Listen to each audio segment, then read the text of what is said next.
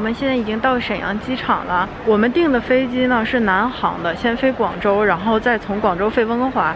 然后其实二十号就应该飞了，但是二十号广州国内那班飞机是飞不了的。那个时候郑州发大水嘛，所以说要 delay 可能三个小时，那我们就赶不上回温哥华的飞机。结果南航就给我们免费的拖到了下一周，然后他们就建议我们提前一天先去广州，第二天再飞温哥华，这样时间比较保准嘛。所以说今天呢，我们就先飞广州，然后在广州睡一晚，第二天三点再飞温哥华。这次飞的航班是南航，最近的票特别难订，因为九月份要开学了，我们就只买到了南航。然后南航这次的国际飞机据说是双层的那种，所以说也是第一次坐，想感受一下。现在我们就已经到了沈阳机场了。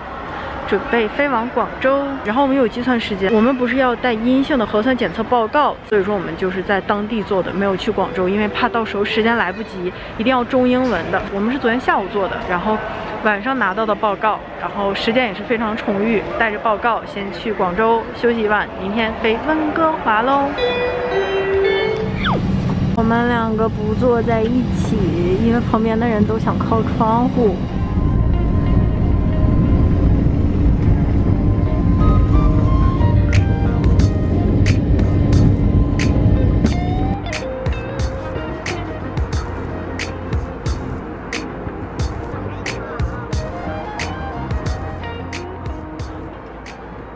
我们现在已经到广州了，然后这个是接待我们的一个地勤姐姐。我们取完行李了，因为一共是四件行李嘛，所以说我们打车，车可能放不下。我们打算在行李寄存，寄存三件，因为我们的航班中途中转超过二十四小时，所以说行李一定要取出来。要正常的话是不用取出来的。请选择您要支付的方式。我扫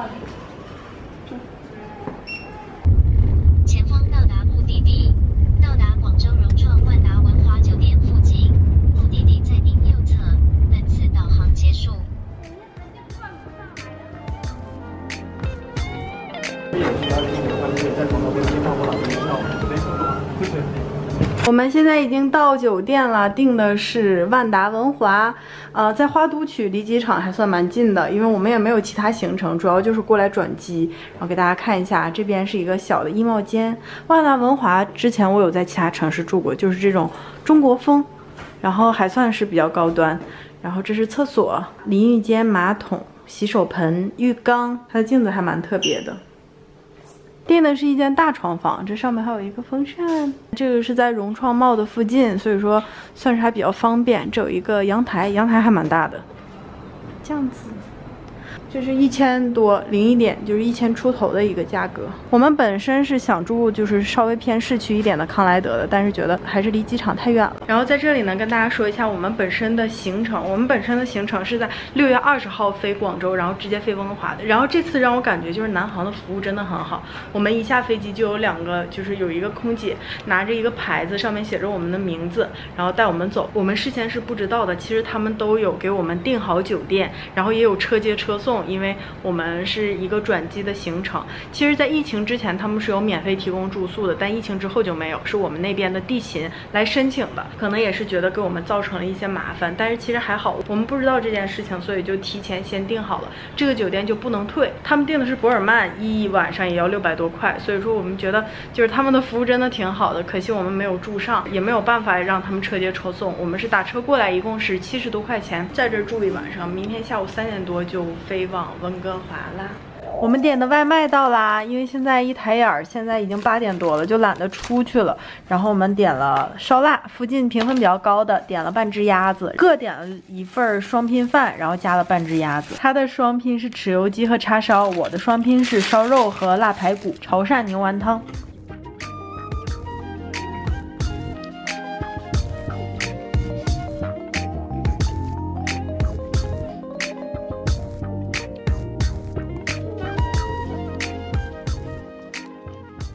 在是中午的十二点十五，我们准备去白云机场出发。侧车道进入机场隧道，出隧道后一百五十米靠左行驶，往二号航站楼出发。扫码亮码进入航站楼，在航站楼内请全程佩戴口罩。现在国际这边依然还是人很少，就好像除了南航飞温哥华那班，几乎都没有人。看柜台这边都是空空的。我们现在来那个行李寄存，把行李取了之后去办登机牌。我们两个一人拿了两个大箱子，好重。公务舱这边的人还是比较少的。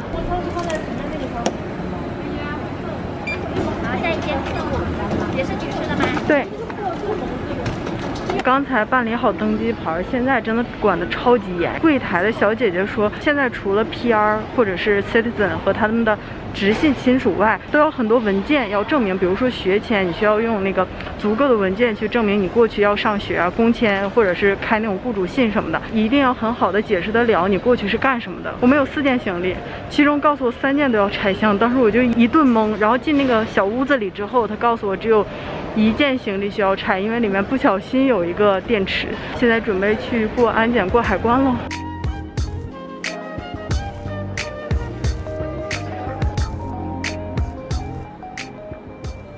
现在已经过完海关了，我看到了免税店这边写着低至二折。呃，是全场任意两件九折。啊，任何两件都九折。然后小的话那个有套装。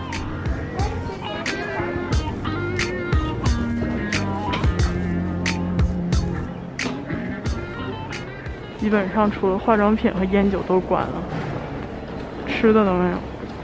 吃的一天卖不出去几份都坏了。就是，便利店都不开，餐厅都关了。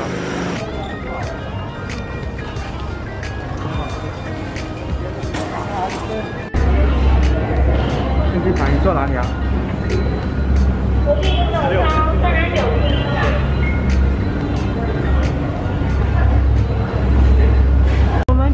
三人九。双层的大飞机真的是哎，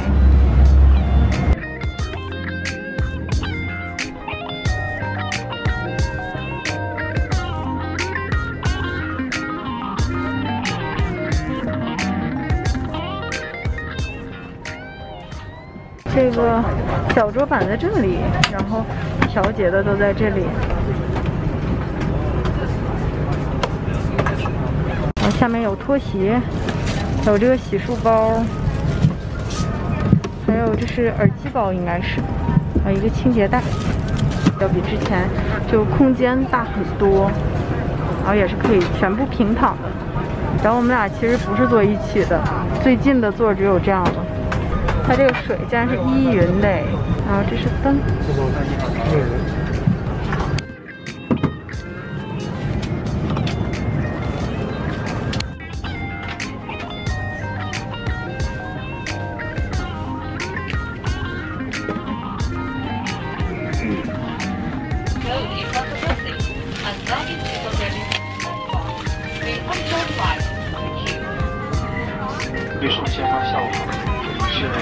机场广播，往这条是二九关广州运往温哥华，预计空中飞行时间为十一小时三十分钟。我们预计在巡航前目的地天气目前是良好，三分钟后飞出考虑，我们建议在飞行全程中登机。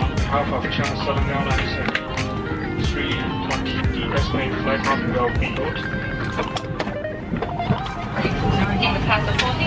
女士，打扰一下哈。女士你好，给您订一下餐。我们今天飞呃温哥华呢，飞行时间是十一个半小时，然后给您提供两顿餐食。第一顿餐呢是起飞后大概四十分钟提供，呃，餐品呢是这个金汤海鲈鱼米饭。第二顿餐呢是在晚上九点半左右，然后餐食的名名字呢是这个陈。鸭胸肉配陈皮汁米饭，嗯，你看两个都要是吧？都要，好啊，好，没问题，到时候我们给您提供。嗯，当时是找这个叫醒您吗？嗯，可以的。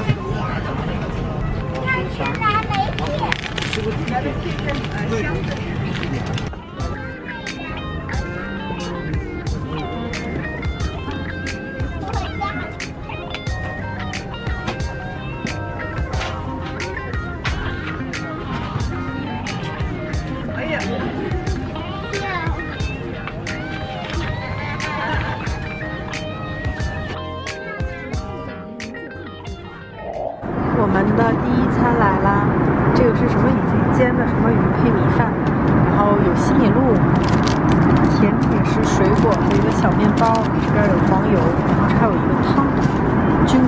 这样子。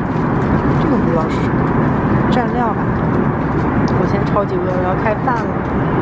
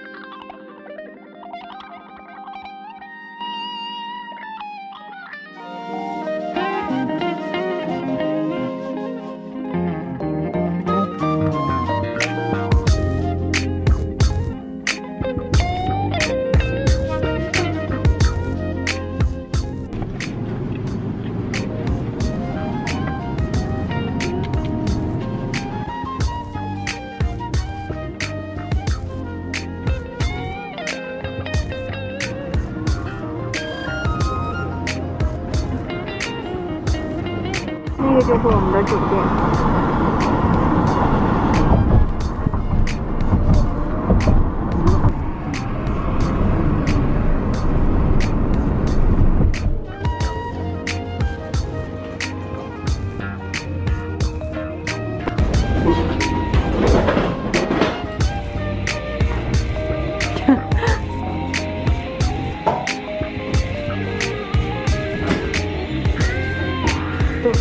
管我们吗？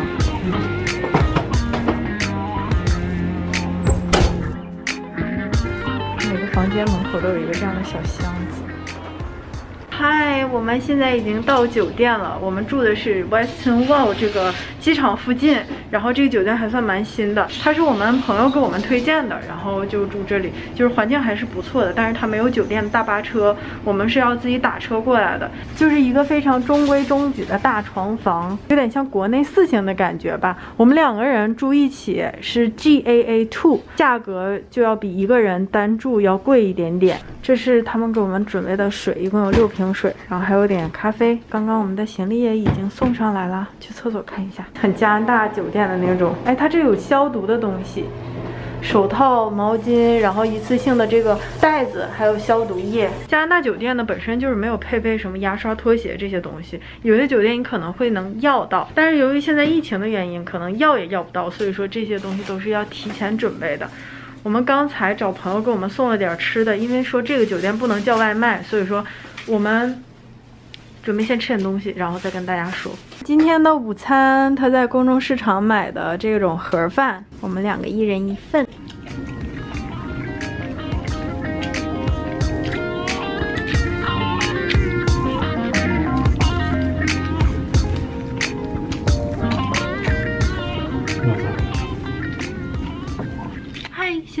吃完饭了，已经开启我的隔离生活了。但我估计在这儿我也就待个一天，在这儿睡一晚上，我可能明天就已经回家了，因为他说只要出你的核酸报告就可以回家了。然后呢，我在这儿跟大家简单的说一下，就是整个这趟回来大致的一个流程和注意事项吧。首先呢，我订的是南航，从广州飞到温哥华，是七月二十七号三点起飞，到温哥华的时间是下午的一点。其实本身订的是应该十一点多，然后我们稍微有一点晚点，然后现在已经是三点半了，我们才到酒店来 check in。这个中间的时间呢，我们都消耗在机场，所以说大家在飞机上一定不要饿肚子。首先先说一下我们在换登机牌的那个时候，那个时候呢就需要在机场来交一些材料，比如说给他看你的核酸检测那张报告单，然后还有就是你的身份，比如说你是 PR 卡或者是学签或者是工签，好像现在旅游签也可以进，只要是 PR 或者 citizen 的一个直系亲属就可以，但是一定要有你们中间这个直系亲属的证明的公证才可以。进去之后呢，就是过海关，跟之前都没有什么不同。但是呢，想在免税店买东西的小伙伴呢，只有一些化妆品或者是烟酒，很多店都已经关门了。还有那天就是我们中午没。有吃饭，想在机场里面吃。但事实上，广州机场国际那边的餐厅基本上该关的都关了，不是基本上是全部。所以说我们在机场就没有吃到东西。然后就是登机就顺利登机。这次我们的飞机特别大，是 A 三八零两层的那种。但说实话，那个座位我觉得就是很一般。我觉得 A 三八零可能比较注重的是头头等舱的这个体验感。至于他们的食物呢，我有给大家录，他们很少有小吃，只有坚果。要么就是我管他另要的那个三明治，他没有什么薯片、泡面，什么东西都没有。他有给两顿饭，但是都一般般吧。要不是说特别饿，我觉得都吃不下去，就是中西合璧那种。但是那个汤还不错，甜品就是超级甜，我都没怎么吃。然后你在飞机上呢，需要填一个表格，我把那个纸写在这边。这个表格呢是让你入境写的一个表格，但事实上我们在海关也没有交。但是大家还是先写上为好。除了那个表格呢，在入境加拿大之前，大家还要下一个 app，就是长这个样子的。一个 app 叫 Arrive Camp，里面呢需要自己一步一步填。如果是英语不太好的小伙伴，大家可以去小红书上查，有很全的攻略，告诉你一步一步该怎么填。基本上就是填一些你个人信息。在来之前，我们差不多是前十天。就有预定来这儿的酒店，就是我们现在在的这个威斯汀酒店。我们两个人住这儿三天晚上要两千六百刀，就这么一个小小的房间。况且我们住一天可能就走了，就觉得有一点浪费吧。订好酒店，他也会给你一个号，这两个都要截图放好，因为可能海关会看。但是，一直到现在我已经到隔离酒店了，哦 arrive 看的那个号码都没有被任何人收，可能我也算是比较幸运吧。然后落地温哥华呢，还是要先过海关。如果是不会英文的朋友，或者是第一次入境都没有关系，他们都有那个指示牌。牌指示牌上面都有中文，所以说一步一步走着来。如果是你真的过海关，海关那个人说话你听不懂的话，他还可以找翻译。过关的时候呢，就需要给他准备几个东西。首先呢，就是你的七十二小时之内的核酸检测阴性报告。然后第二个呢，就是你订酒店的信息。那最好呢是有 email 的那个确定。如果是没有加拿大手机卡的小伙伴，也不用担心，在机场呢它是有免费的 WiFi。然后这是第二样东西。第三个呢就是你的护照。然后第四个就是你的。身份本地的护照，要么就是你的 PR 卡，要么就是你的学签或者工签。如果是你是上学的或者是工作的，最好还是有一个学校信啊，或者是雇主信那种，来证明你回来是要工作或者是学习的。然后在海关排队的时候呢，它就是每一站都会有一个二维码，那个二维码是 Life Labs 的一个注册。下飞机之后的这个核酸检测，你注册好了，把邮箱填好，它才会给你发你的报告单。这个还是比较重要的，你先注册好呢，到时候就会省一点时间。但其实这个注册呢。并不会浪费你很久，也就是两分钟的时间。然后呢，就去取行李了。取完行李就是出关。出关，如果你不进小黑屋的话，你就继续出去。出去之后就要排队，要就是注册核酸。先注册 Life Labs 一张纸，就是排队还是要蛮久的。我那个时候排了。二三十分钟呢，然后拿着这张纸出去做核酸。它这个核酸特别搞笑。首先先说一下，一点都不难受，非常的温柔。这种不难受的感觉，甚至我都有一点怀疑，它这样可不可以给人家测出来？就是一个非常细的棉签，在你的牙床子上稍微蹭一蹭，蹭完了之后，用同一根棉签哦，在你的左鼻子插十五秒，右鼻子插十五秒。做完核酸检测之后呢，你就要从那儿绕出来。绕出来之后呢，他会拿一包 Life Labs 给你的一个小 kit。这个 kit 是干嘛？是让你在你隔离第八天的时候做一个自我核酸检测，到时候呢，我也会录视频给大家放出来的，在下一个 vlog 里出来了之后，他会问你是哪个酒店，很多酒店是有自己的那个小巴车的，你可以在那儿等。如果像我们这个没有，我告诉他我是什么酒店，他就直接让我出去打 taxi，打计程车的价格呢，他会直接给你报二十，当时我觉得好黑呀。然后到酒店之后呢，他就有问我们要那个计程车的那个小票，有这个小票他会给我报销二十块钱，然后我才明白为什么这个计程车要我。二十块钱，原来他们都是互通的，反正就是这样。这次回加拿大的一个流程，现在就开始我们的隔离生活啦。我觉得我能想到的就是这些，大家有什么问题也可以弹幕或者留言给我，我会尽可能的给大家回复过去。现在就要给这个酒店好好的擦一擦，然后我们还有带自己的床单，到时候给它铺好。今天晚上估计要睡着了，明天早上再回家。下一个视频再给大家看我居家隔离的生活，我们下个视频见，拜拜。